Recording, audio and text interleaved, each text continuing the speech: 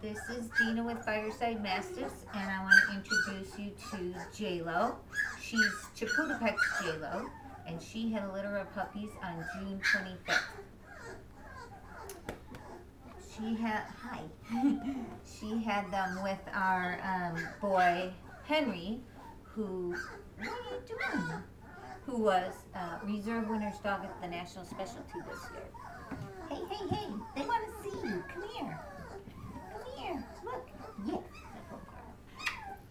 Um, she's a little tired right now, right? Yeah, you are. Because she had 14 puppies. It's our biggest litter we've ever had.